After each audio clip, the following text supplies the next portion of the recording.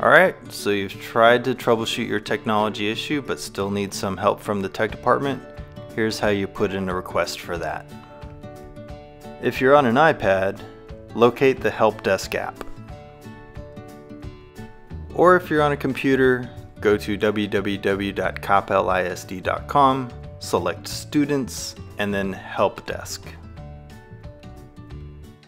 That'll take you to the login page. Make sure you use your full email, so it's your username at g.coppellisd.com, and then your CISD network password, and click Sign In. Once you're here, take a look in the top right corner and click on Submit a Request. Then look down on your screen and you're going to see a box that popped up that says, please choose your issue below. Click that box and then choose Learner CISD Help. I mean, it's your only option. Here's where you get to put in your request. Make sure you choose a title that is appropriate for your problem and make sure that title is short.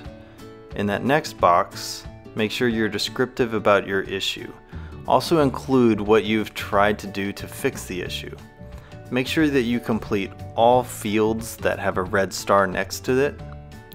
And when you're done, click Submit.